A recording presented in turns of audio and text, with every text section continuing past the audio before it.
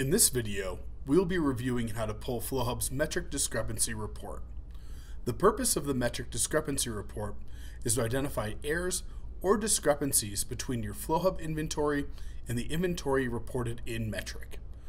The report utilizes live Metrc package tags and the information attached to them to identify these discrepancies. First, let's go over how to run the report in FlowHub Classic. To access the Metrc discrepancy report in FlowHub, we're going to navigate to Reports and then search for Metrc Discrepancy Inventory.